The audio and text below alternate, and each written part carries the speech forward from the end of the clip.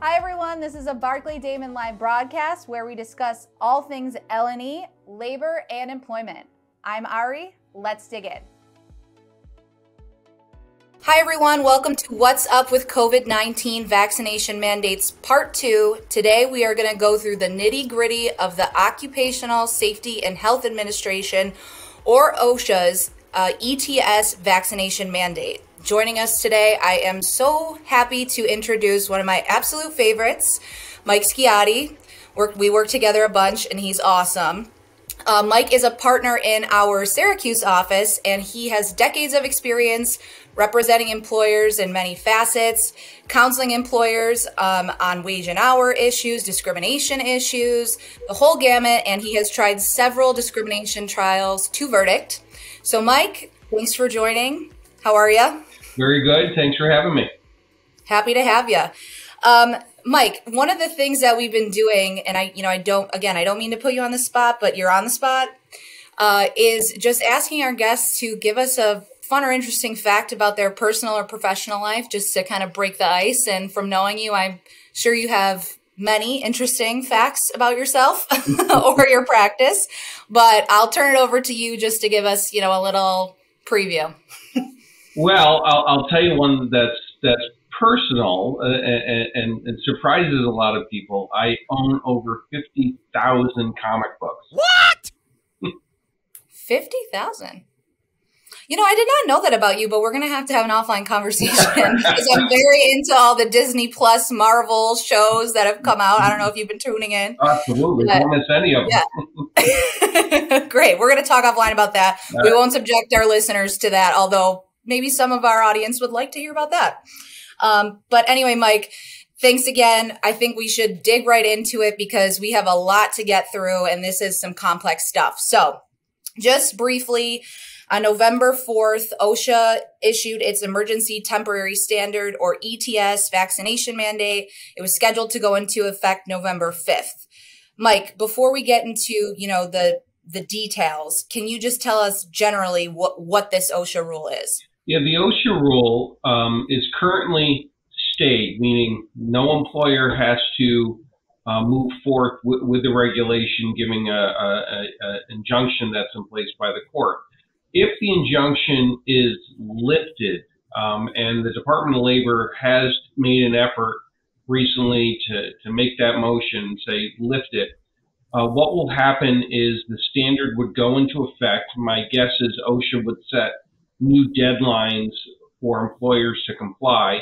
And employers that have over a uh, hundred or more employees um, would have to comply uh, with the standard, which basically is your workforce is going to have to either be fully vaccinated uh, or you'll come up with uh, uh, an alternative, which would be weekly testing for employees coming into the workplace.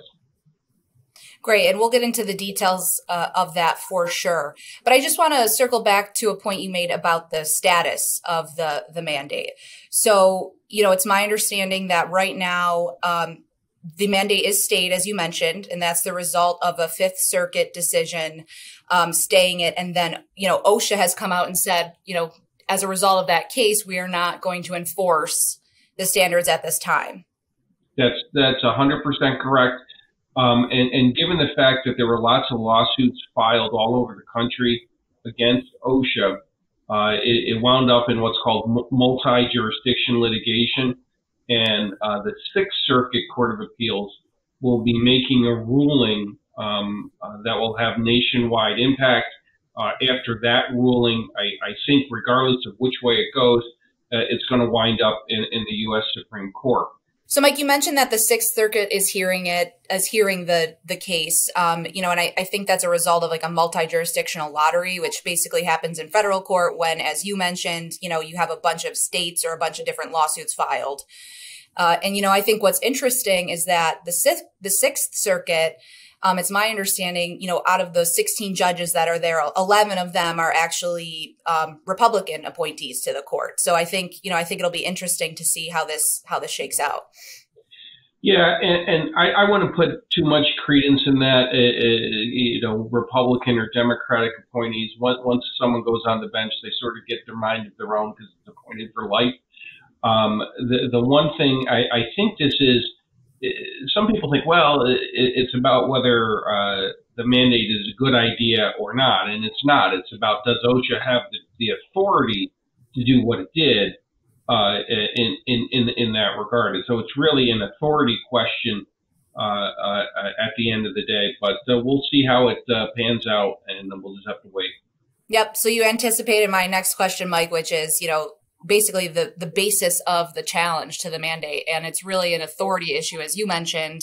Um, whether OSHA has the you know authority under the emergency temporary standards regulations to make such a broad or sweeping mandate. Yeah, and, and one of the things the uh, the court in Texas pointed out was that they took four months to develop an emergency standard. Right. And, and their response was basically couldn't have been that much of an emergency if you spent four months doing it. So uh, that's going to be a problem um, uh, for OSHA because I think that's the reality uh, of it. And then there were some comments made by President Biden, uh, which um, were being used against the administration in the litigation as well. So it, it, it's it's going to be interesting to see how this turns out. Agreed. And, you know, to our listeners, stay tuned because, you know, hopefully we'll have an answer in the somewhat near future. But, you know, as of right now, the mandate is stayed. But notwithstanding the stay, it is important, you know, for us to talk about the requirements of the mandate because, you know, as we mentioned, they are pretty expansive. So let's dig in, Mike. If you guys listened to our first couple episodes, we warned you how quickly things can change. Subsequent to the recording of this episode, the Sixth Circuit lifted the stay on the OSHA rule, basically holding that any associated risk with the continued spread of COVID-19 outweighed any harm caused by the mandate. Subsequent to the ruling, the United States Department of Labor has issued a statement saying that employers have until January 10th of 2022 to come into compliance, but that there will be a grace period until February 9th for those employers who are using good faith reasonable efforts to comply with the rule. Also subsequent to the ruling, an immediate appeal was filed with the United States Supreme Court, and the court is scheduled to hear oral argument on January 7th. We'll be sure to keep you updated. Um, you know, you mentioned generally what the mandate is. Um, I wanted to talk with you a little bit about, um, you know, who the mandate applies to on the employer side. I know you mentioned it's employers with 100 or more employees. Are there any other eligibility requirements or things like that for employers that the mandate would apply to? Yeah, a, a, a few. There's there's a few. Uh, I, I call it the Biden triangle. There were three initiatives launched by the President Biden at once. One applied to federal employees and federal contractors. The other to healthcare workers. The other to uh, private sector employers employing a 100 or more employees on November 5 or thereafter. And I'll explain that uh, uh in, in, in, a second. Um, so the, the requirement is that you don't fall into either the federal employee slash contractor mandate, which is also state, uh, or the CMS healthcare worker mandate, which I believe is also state as, as well uh, in this regard. I think there's an injunction that another court has issued. Yep. So that's uh, that's uh, the the triangle uh, um, and, and, who is impacted generally. So, Mike, just focusing on the the mandate that applies to um, employers with 100 employees or more. If you're an employer, how do you count the number of employees that you have to satisfy that 100 employee requirement? Sure. Let, us assume uh, the first date that we use is November 5, 2021. Um, how many employees did you have uh, as of that day? A part-time employee counts as one. A full-time employee counts as one. Uh, uh in, in that regard, there's no difference between a part-timer uh, and, and, and full-timer. And basically, I take a look at your payroll records and I figure out how many employees you had uh, uh, on that uh, day. Now, let's say on November 5th you had 90 employees, um, and then you hire 10 more in January 2022. You become covered um, on the day that you hit 100 employees. Um, and the last part of the test is what if I started out at 100 employees, but then I got rid of half my workforce because I lost a big contract? You're still covered.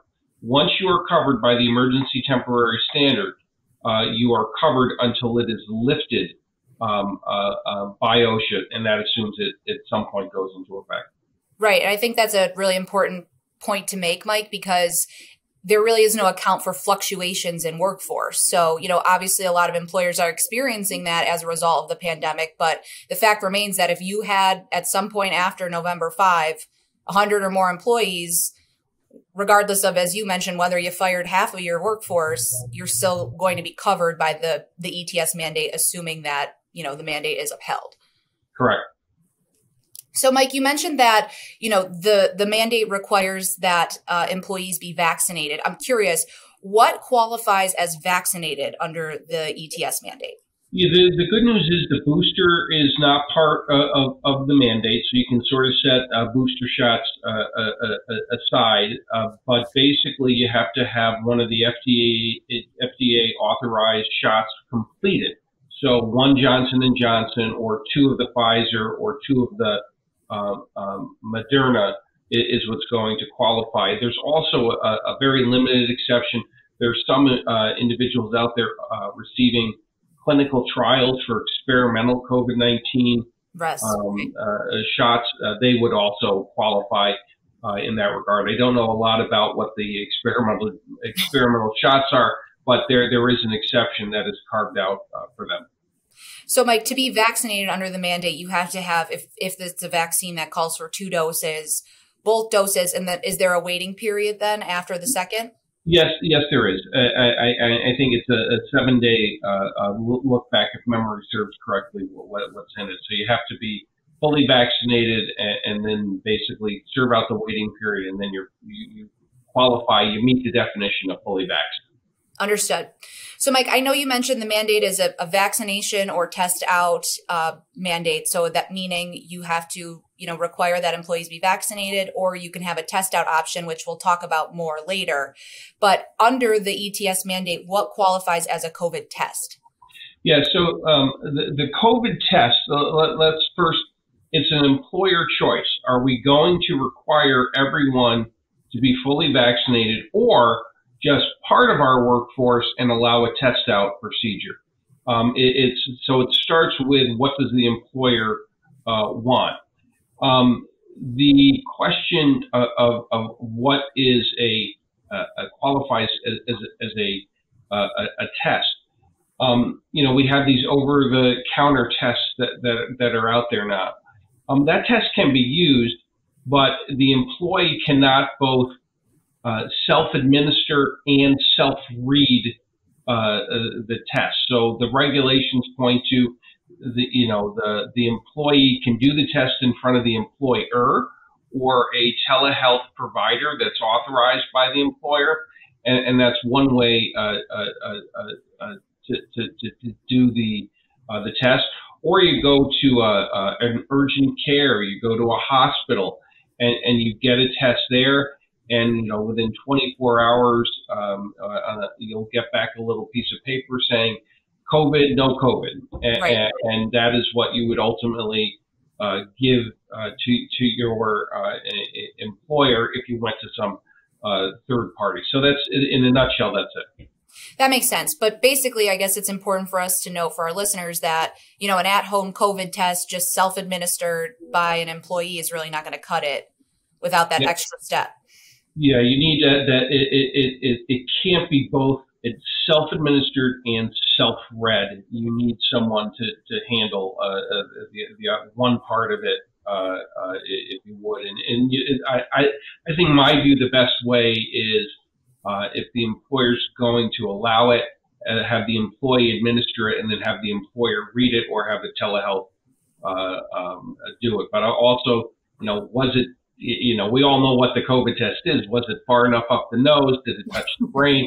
You know, the yes. stuff that I, I want to know nothing about if I'm an employer. And, and whether you do it or not, or you just say go to some third party is really an employer choice. Yes, that makes that makes sense. So, um, Mike, you know, let's focus on the first piece of the mandate. So let's assume that an employer decides that they are going to implement a mandatory vaccination policy. Uh, I wanted to talk with you a little bit about what exceptions there are provided in the mandate if an employer decides to go that route. So there is an exception um, for employees who are not able to get the vaccine under those circumstances. If the employee or if the uh, excuse me, if the vaccine is medically, I think the the word is contraindicated as per the regulations. Is that right? Yeah, and, and what that typically is is you could be on some type of medication um, that is not a good idea to get the shot while you're on. Um, so until you're off it, uh, the physician may take the position you can't get the shot because you're on some medication and it's going to hurt you, it's going to counteract something. Um, so that's one uh, uh, uh, of, of, the big exceptions that we see, and, and um, I've heard contradicting things but one of the uh, one of the drugs I believe it is prednisone. Um, if you're on prednisone, I don't think you're supposed to get um, uh, the the shot. But I've heard contrary things in that regard. But it's really a medical determination relative to what the employee's individual medical status is. Right. So, in addition to you know whether there is a medical contraindication for the vaccine, or you know, I, I think there's also an exception, which I think you mentioned, which is you know if there if there's some medical reason for the vaccine to be delayed because you're on a particular medication or you have some you know some uh, medical condition that a you know a physician determines and that's probably an important part important point to make mike um, this has to be something that a physician determines is medically contraindicated, right? Yeah. So it, it, it, what I would put that in is, and I would classify that as a, um, a reasonable accommodation because of a disability yes. based on a medical uh, uh, condition. It's not something for the employee to wake up one morning and say, "Oh, I don't want the, I don't want to do this. Uh, I, I'm afraid of needles. Um, I don't know what's in the vaccine." they're tracking me or whatever else employees are, are, are going to say. It's a healthcare provider determination that you have some medical condition that is contrary to and could cause you harm if you get the, the vaccination. One of the things, actually, the only thing I've seen so far are some individuals who have um, uh, certain types of allergies. The um, the immunization is not recommended for uh, in, in that regard. And if you get a medical notation um, and a medical uh, record of some type saying this is the deal why, know, you, the employer has the right to question it or accept it. Um, and if they accept it, we have to come up with the alternative. But I think the OSHA has sort of laid out the alternative for us. It's the testing. Um, you know, if you're coming in the office, going to test you every seven days, and the only way you get in here is if you uh, hand me a piece of paper saying um, you had a test and uh, you're good for seven days. Right. So, Mike, and I, I think you anticipated my question, and you know we talked about this last week in the context of the CMS mandate and in the context of the New York healthcare vaccination law. But is in the ETS mandate, is there an explicit exception, you know, for individuals who have sincerely held religious beliefs, or as you mentioned, um, you know, have a, a, medical condition or disability which prevents the individual from receiving the vaccine?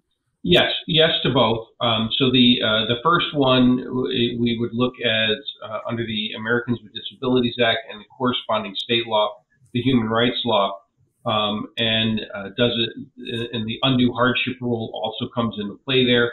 You run it like a normal disability accommodation, like we have been since 1990. Yes. Um, there's nothing special other than it's brand new and, and, we have to deal with it. Under Title VII and the state human rights law, uh, individuals who have a sincerely held religious belief um, may be entitled uh, to a, a, religious accommodation so they don't have to get the vaccine.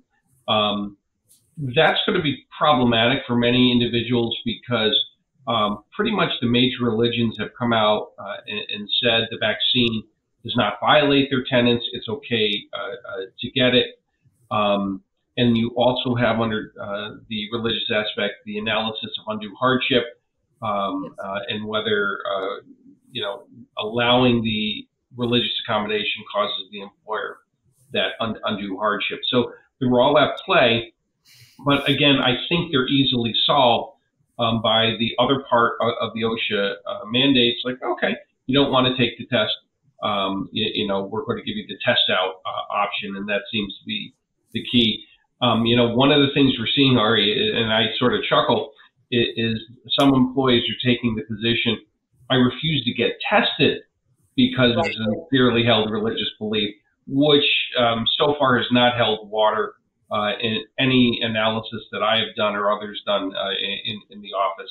Uh, I, I, think that's a um, a crock, uh, to be frank, uh, in, in, in that regard. They just don't want to uh, get get tested. But I, I think the key on the religious aspect is that the major religions, what I call the mainstream religions, Christianity, yes. Judaism, Islam, Hinduism, and Buddhism, you know, sort of come out and said this is okay. Um, and, and, what we're dealing with are individuals who don't want to get the shot uh, in, in, the vaccine, and they're they, are they are suddenly citing scripture. They're suddenly uh, saying they're Christian, and, and, they're they're putting this forth. Um, employers who are pushing back and push back with the right questions, you know, you know uh, they're denying the religious exemptions because it's like you're just you're, you're, some of them are just making it up. Some of them it's not sincerely held. Um, and, and, others, uh, you, you, know, are newly formed churches. We had recently the Church of the Anti-Vaxxers, which was recently formed, um, and, and, it's a direct response to the COVID vaccine.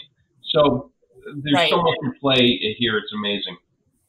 And I think, at least for me, Mike, and I'm and I'm sure for you, you know, this the religious, the sincerely held religious belief aspect of the exception is is something we're getting a lot of questions about, as you mentioned, because you know it, it's really been a real a hot button issue. Um, so to our listeners, stay tuned because next week we're going to, you know, go into a little bit more detail about, you know, what to do if you're an employer and, and an employee is refusing to get vaccinated on that basis. Um, but, you know, I think that's great, Mike. And you know, we did talk about, of course, employer eligibility and what employers are covered, you know, under the mandate. But what I wanted to talk with you about next is whether the ETS mandate applies to all employees within that workforce. Yeah, the, the answer is no. Um, it, it, it generally applies to employees coming into the office. So don't confuse here the coverage test, whether whether you're covered by the standard with whether it applies to a specific employee. The standard itself, the substance, you must be vaccinated uh, uh, or test out, applies to those employees coming into the office. So if you have a workforce of 150 employees, uh, 50 of work of which work at home exclusively, and it's key, exclusively. Yes. Um, uh, they don't have to comply with this standard. But let's say you have one of those 50 employees who needs to come in for a meeting. They're going to have to either be fully vaxxed or test seven days before um, uh, uh, coming into uh, uh the, the office. There's also an exception for working exclusively outdoors. Um, usually it's the construction industry uh, we're seeing. Uh, again, exclusively outdoors. If they work five days a week, they're in the field five days a week. It also covers your company vehicle, um, and uh, the the OSHA standard surprisingly goes into excruciating detail on what is um, a completed building um, uh, in, in that regard. So if the air is not free flowing from the outside, um, that's indoor work uh, in, in, in, that regard. Highly fact specific, uh, yes. Uh, but we did get into a lot of detail. So, Mike, I think that's a really important point about, you know, exclusively working from home because I know, you know, a lot of employers and a lot of our clients, you know, have a hybrid workforce right now. Some people come into the office, some people are required to, you know, it's industry specific. Some people do work exclusively from home. But, uh, you know, I have a question as it relates to, let's say you have 100, 100 employees, 50 are exclusively work from home and 50 come into the office all of those 100 or excuse me all of those employees count toward the 100 employee requirement right but yeah. with the caveat that only the 50 who do not work exclusively from home or come into the office are required to be vaccinated is that right that's 100% correct Right. So I think that's, you know, that's kind of an interesting point to make because there's a piece of it where these employees count toward the total, you know, number. It's very broad as it relates to counting how many employees fit, you know, satisfy the 100 employee requirement. But then when you're actually looking at each individual employee, it's not always the case that every single employee will need to be vaccinated. Correct. So and, just and also just remember the we're seeing some employers impose more rigid standards than OSHA was even doing. That is allowed. Uh, yes, it, that's it, a really good point. Right. So basically, if um, you know, if if you're an employer and you want to implement, you know, I'll call them safer, more restrictive, you know, um, policies as it relates to this mandate, you're permitted to do that. Yeah, and, and there's uh, there's one interesting caveat uh, which, which, we, we haven't talked about. The the, the uh, ETS standard indicate it preempts contrary state and local laws. Yes. Not ones that um, are in harmony with it and not ones where they sort of exceed it. And, and, when I first read it, I was a little perplexed, but then it, it hit me what they were referring to. Not so much here in New York and, and, and in the Northeast, but as you start to go down into Texas, Louisiana, Mississippi, Georgia, and Florida, there's a bunch of laws down there that have been acted at the state and local levels that say, dear employer, you cannot force your employee to be vaccinated. Yes. That would be something that is contrary to the OSHA standard. And the OSHA standard, if it is ultimately deemed legal, um, would overrule that in that regard. But it wouldn't overrule, for instance, if you have a fully vaxxed workforce, like your entire workforce is fully vaccinated, and the employer says, um, uh, we still want you to wear a mask at all times. Um, so that that would be something that would be not contrary uh, uh, at, at the end of the day under the standard. Great point, Mike. So just circling back to you know what employees are covered. Um, what about part-time employees? Yeah, um, if they are coming into uh, the the office, they would be covered by the standard. If they're not working exclusively outdoors, they're covered by the standard, um, and they would count towards the cover, overall coverage determination as well. Understood. And then I did want to lastly ask you, Mike, because I think you know a lot of employers have this type of employment relationship, um, and I know our clients do. What about independent contractors? Independent contractors are not employees and therefore do not count um, towards the the underlying uh, are you covered by the standard or the underlying parts uh, uh, uh, of the standard.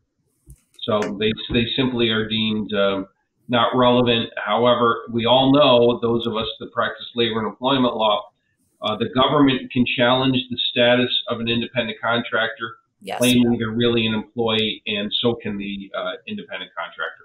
Yes.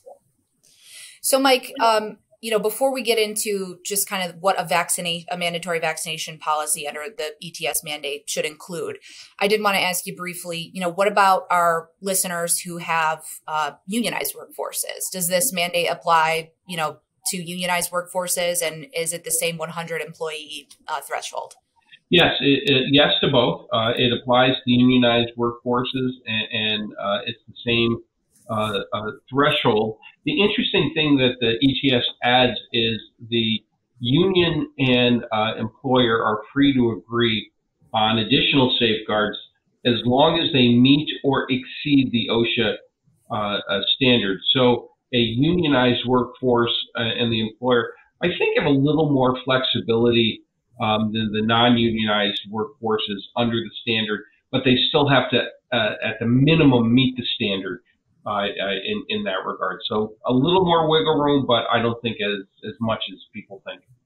Yeah, and I think that's consistent with you know the the basis of you know collective bargaining. So essentially, what you're saying, Mike, is if you have a unionized workforce, you can provide for what they call greater protections in the collective bargaining agreement than what the ETS mandate calls for, but mm-hmm. you cannot bargain or agree to lesser protections. Correct. I think that makes sense. So, um, Mike, you know, I just wanted to talk with you as well about, you know, the content of these of the mandatory vaccination policy. Um, you know, and and I would point out as well for our listeners that, you know, I think OSHA actually does provide some sample policies if you if you go to the website. Is that right? That's correct. There's two versions of the policies that are out there. One is for the employer that has a mandatory vac- vaccination policy only, and the other one is the hybrid that allows for mandatory vaccine for part and the um, uh, the test out uh, for them. I am recommending to employers if the ETS standard is uh, affirmed uh, eventually uh, to simply adopt one of those, depending on which one you're going to do. It is, I, I describe it as a fill in the blank, but it's pretty involved. It's going to take you hours to fill in the blanks, if, if you would, relative to your workforce. Um, very detailed. I think one of them is eight pages long and the other one is 10 pages yes. long. Yeah, I saw um, that. Yeah, and, and so there, there's a lot in those suckers. Right. So, Mike, just generally, you know, what what does the vaccination policy and I don't want to get into, you know, complete nitty-gritty type details, but what are just the basic, you know, things that need to be included if you decide to go the route of a, the mandatory vaccination policy? Sure. You know, it, it, a lot of it is an explanation of the ETS and the standard itself. Um, uh, and, and, what have you to sort of put the employees at ease as to why this is going on. Yes. Um, there's a going to be a component for uh, religious accommodations. There will be a component for the disability accommodations. Uh, there, OSHA has identified a series of items that you must uh, uh um, reference or somehow uh, direct the employee to, including CDC standards, uh, reminding an employee if they provide a fake vaccine card that that is a felony uh, yes. under under under federal law to sort of warn employees, hey, if you do this, um, you're committing a federal felony, um, uh, w- which is not a, a, a, good idea. Not great. Um, a lot of it is, is your general HR stuff. Uh, you know, who do we go to? Uh, how do we uh, how do we prove we're vaccinated? What is in? Um, how do we upload that proof? Things like that um, that you would typically expect to see, but and when you look at their policies, are, are, it's basically everything that we've talked about thus far is in there in one form or another.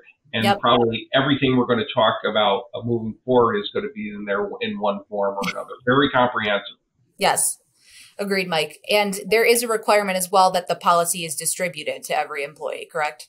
correct. Uh, you, you, know, I um, there's I, I, would recommend that you get a, an employee sign off, either a real signature or an electronic signature.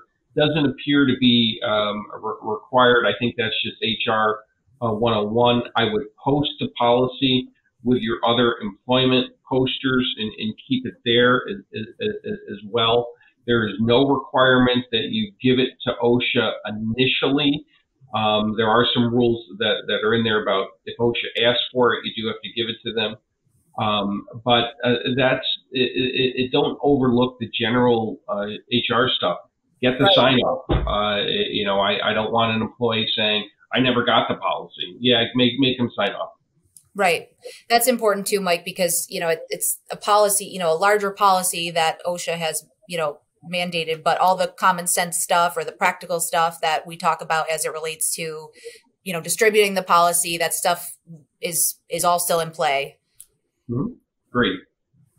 So uh, I just wanted to talk just um, briefly, Mike, about a couple housekeeping type things, like we mentioned in the ETS. Is there any requirement that you have to file your mandatory vaccination policy with OSHA if you're an employer?